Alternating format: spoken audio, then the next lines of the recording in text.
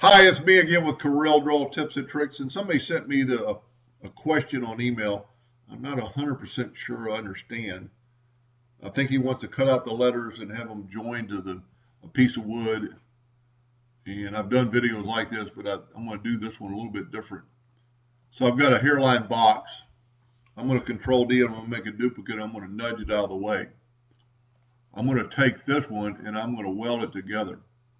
This is going to be our cutout. I'm going to take this one and use back minus front.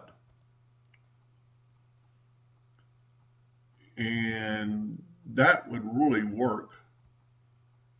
Except for I don't want, let's do, let's do something else. Let's do, uh, let's do this. Let's take the virtual segment delete key.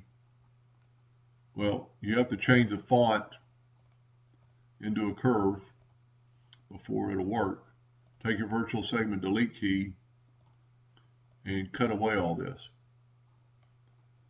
Then you can take this shape and just move it out of the way. Take this and turn it into something besides a hairline.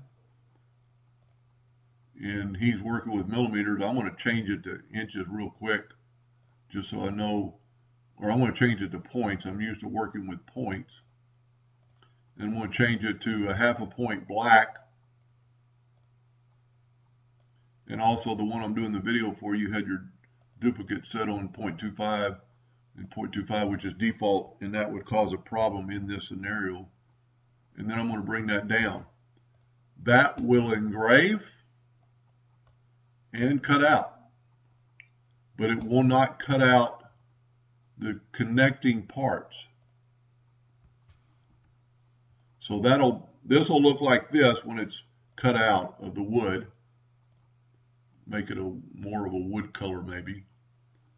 And then this will be engraved. And also for this video, I'm going to put that dream to the back of the page. I do have a hotkey for that. So that's the way it would look. I hope that's what you meant. If not, email me back and describe a little bit more. But that's an easy fix and, and kind of a fun project.